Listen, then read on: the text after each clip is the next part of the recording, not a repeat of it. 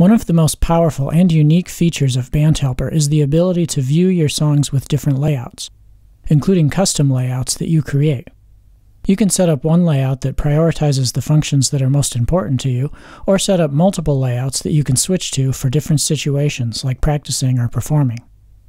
Because there are so many options, this is going to be a long video, but I'll put the most commonly used info first, and you can click in the progress bar below to skip to different sections. To use song layouts, you'll either need to view a setlist or a smart list. A setlist is a subset of your songs that you set up and sequence before a show. A smart list is a larger sorted collection of songs that you can select from on the fly as you perform. The first time you view a setlist or smart list, you'll be prompted to select a layout. So you could pick split view and the setlist opens with that layout. Now, if you go back and select a set list or smart list again, the list of layouts is replaced with a single View button that will select that same layout again. That avoids the need to select your preferred layout every time. But if you want to use a different one, you can click More Layout Options to see the full list. However, if you select a set list or smart list from a shortcut on the home page or the repertoire page, you'll be taken directly to the set list or smart list, bypassing the layout selection. Once you're viewing a set list or a smart list, you can also change to a different layout without backing out of that view. Just click the Layouts button in the top toolbar and select a different one. Now let's take a look at the predefined layouts that are created when you set up your account. You can use these as is, or use them as a starting point for customization. If you don't see the same names listed here on your device, you can go to Help, Utilities, Rename Default Layouts, and Load Default Layouts to update to the current defaults. Full screen lyrics initially shows a large song list with buttons to access common functions for each song. If you click a document button, the document will open full screen over the list, and you can double click the middle of the document to hide it and return to the list.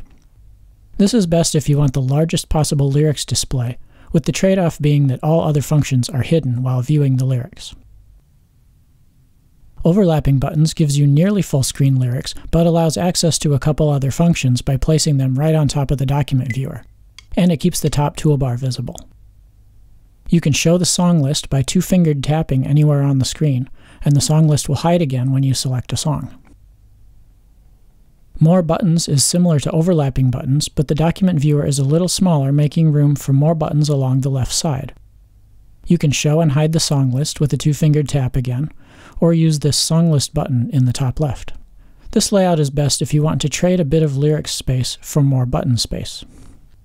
You can use the More Controls layout if you want access to even more functions, including quick access to multiple MIDI presets, song notes,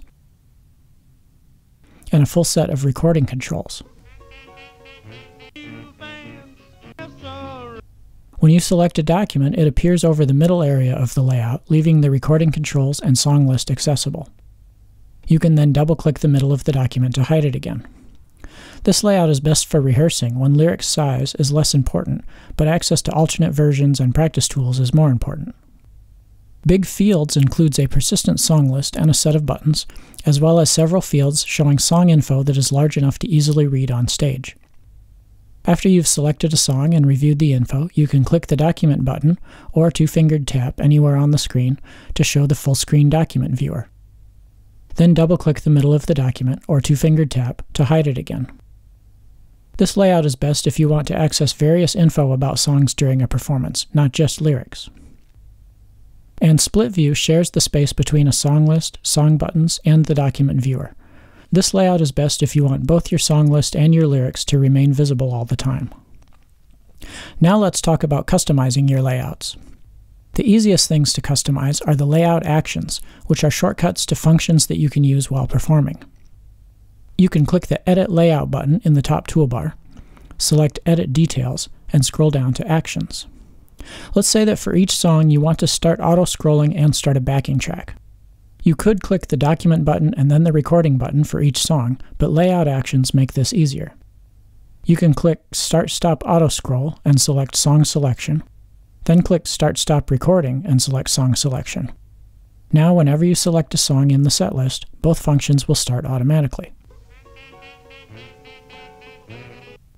But what if you're not sure what song you want to play next, or you want to look over the song for a few moments before starting, or you need to wait for the rest of the band to get ready? In that case, instead of setting these layout actions to song selection, you can set them to song second selection. Then when you select a song from the set list, the song appears, but these functions don't start yet. When you're ready, you can select the same song again, and then they will start.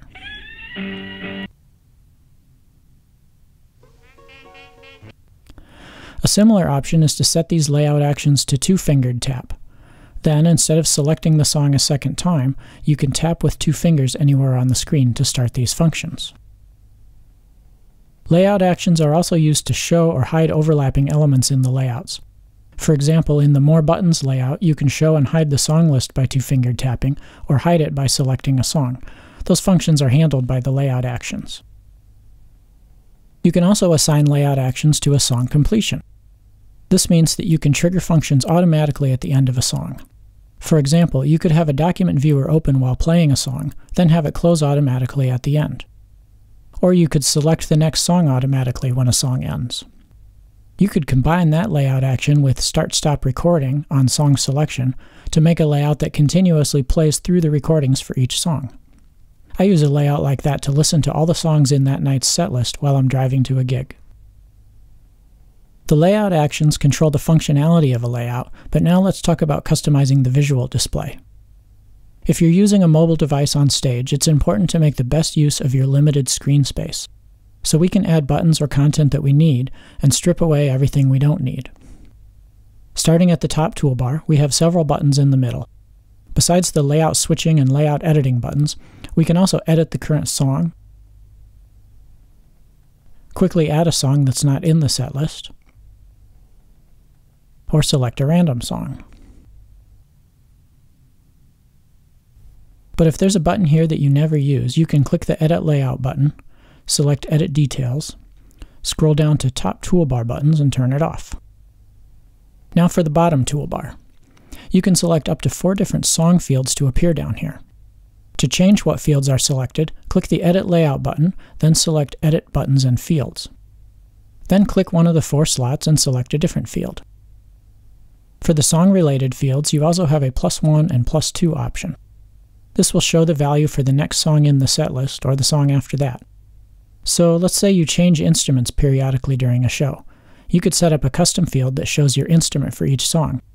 Then place the plus 1 version of that custom field down here. Then you'll have a heads up before a song that requires an instrument change.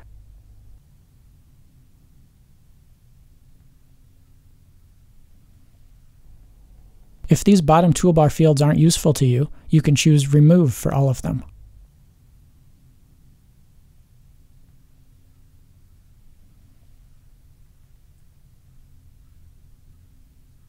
Then the bottom toolbar will be hidden, and you can use that space for the rest of your layout. So you could go to Edit Layout, Song List, and resize that taller. And then go to Edit Layout, Document Viewer, and resize that taller.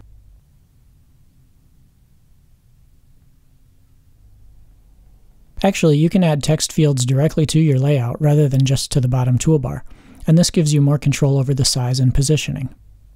Let's go back to the document viewer and make that shorter and move it down. Then let's go to Buttons and Fields again, click the empty area we just made, and select the capo field. This is another custom field I made in this account. I can change the text size by changing the height of the field.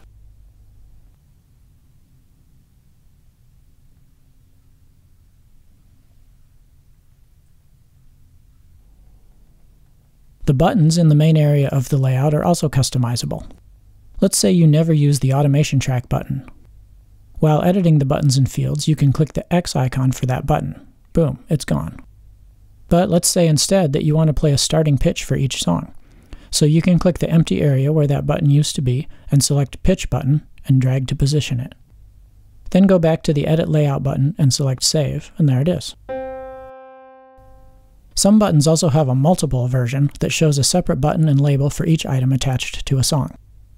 For example, this song has three MIDI presets attached. You could tap and hold the single MIDI preset button to select them, but you can also add a separate button for each preset. Let's resize the song list to make some room.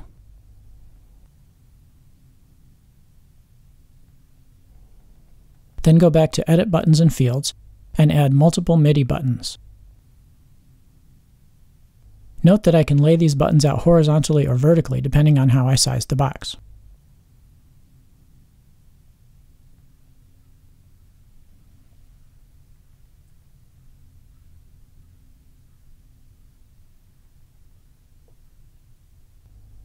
And now I can select a specific MIDI preset with just one click. There are a few more options in buttons and fields, like a set of recording controls,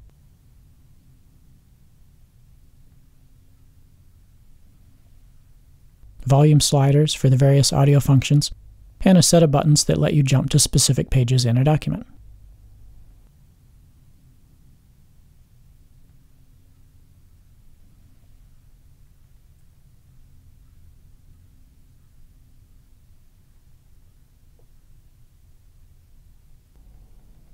Some layout items are more complex and have options of their own. When editing the document viewer, you can click the Options button in its top right corner and set it to two-column view, change its alignment, mirror it for teleprompters, etc. And when editing the song list, you can click its Options button to change its text sizes, add buttons, and add fields.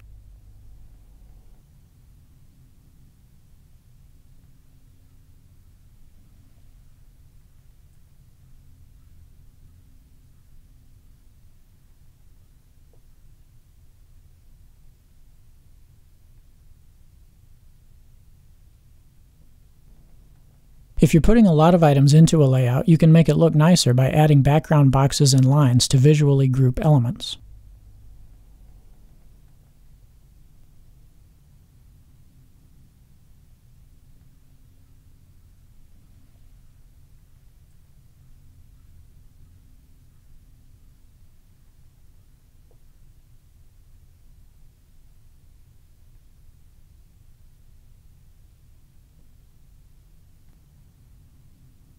And you don't have to worry about lining up and sizing elements perfectly because we have some functions to do that for you.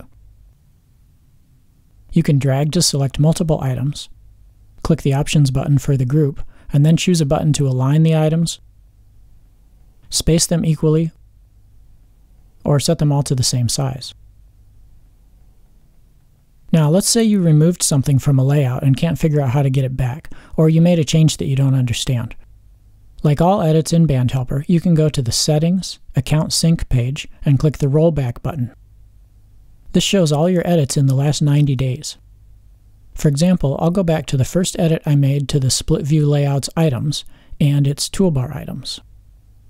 If I select those edits and click Save, that layout will be rolled back to the way it was before we made those two edits. If you want to manage your list of available layouts, you can go to the Repertoire Layouts page, select a layout, and click Edit Details. From here, you can deactivate layouts you're not using to hide them from your list, or delete layouts you definitely no longer need. However, please note that someone else in your account might be using the same layout, so unless you're the only user a layout is assigned to, you should check with your bandmates before deactivating or deleting. Or you can simply remove yourself from that layout to hide it from your list without affecting what anyone else sees. If you do delete one of the predefined layouts and want to get it back, you can always click Help, Utilities, Load Default Layouts. This will reload any predefined layouts that have been deleted, but won't affect any existing layouts that you might have customized. And by the way, we talked about customizing existing layouts, but you can also create new layouts from scratch. Just click the plus button at the top of the Layouts list. Click Edit Details to enter a name. Click Continue, and then use these buttons to edit the elements of your layout.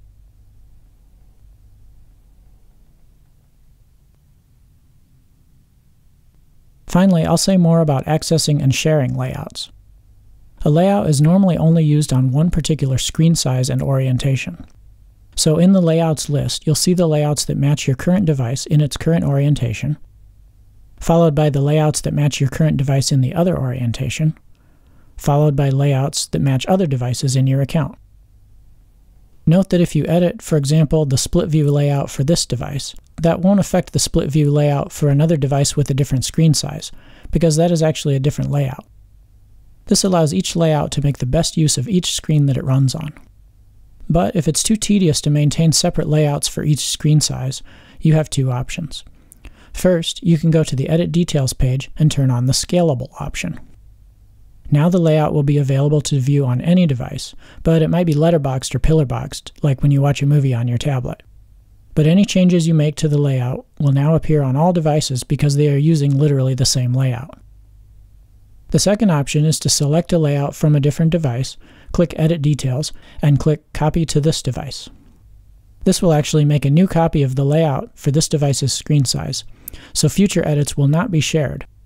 But this does take all the settings from that original layout and copy them over, so you can simply fine tune the positioning of items in this layout rather than redoing all your customizations from scratch.